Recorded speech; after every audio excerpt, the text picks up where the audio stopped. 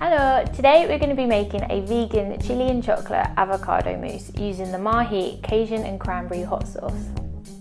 This recipe is a great vegan pudding. It's quick and easy and it only has six ingredients. So being intolerant to wheat and dairy, I find it difficult to find recipes that are free from all of the top allergens. So this is why I've come up with this recipe today. So first, break up the chocolate and melt it in a pan on a low heat.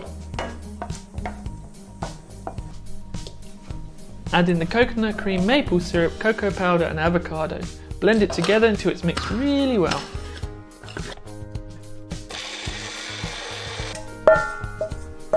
Pour in the melted chocolate, the mahi sauce and pulse again until the mixture is fully combined. Divide the mixture between two tumblers and top with chocolate and chili flakes. So we've made this recipe before, but you can still taste the avocado. Whereas when you add the mahi chili sauce, it just balances it out really well and it makes it a lot sweeter. And it's so smooth and creamy, it's the perfect dessert.